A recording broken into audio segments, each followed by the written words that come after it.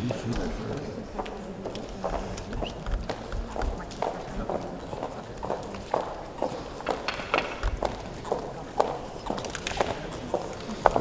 afternoon, everybody. Um, on behalf of the Government of Canada, today I would like to announce an additional approximately $50 million worth of military aid for Ukraine.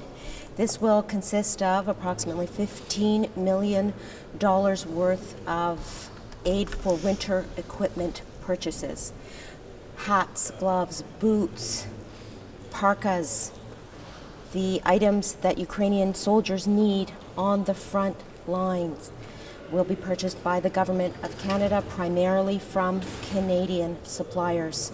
Secondly, an additional $15 million for the purchase of cameras for drones.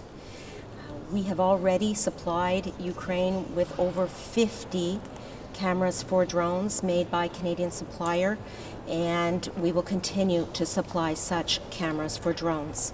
Thirdly, in the area of communications services and satellite services, we will supply Ukraine with another $2 million uh, for satellite services.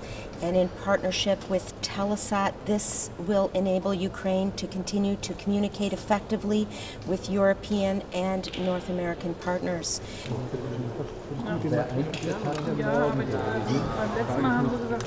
Good morning. Uh, a historic moment. Finland is participating first time as an invitee to this ministerial meeting of defense ministers of, of NATO. Uh, of course, looking forward to become a full member of NATO soon. This process has been proceeded quite well so far. We have uh, 28 out of 30 ratifications. Thank you for all the support we've got already, and uh, of course we hope that uh, the missing two we will get those ratifications as soon as possible. The sooner the better. Uh, I think we uh, always have to take it very seriously and at the same time to mark that this nuclear rhetoric is unacceptable. Uh, it's dangerous uh, and we have to stay very calm uh, in our response to it. Well, I, I, I, we are all aware that air defense is extremely important for Ukraine, especially uh, when you see these atta attacks on Kiev and other cities on civilian infrastructure with civilian uh, casualties. Uh, we condemn it in the strongest terms. So we feel it's important to continue our support, and that means also support uh, in the air defense.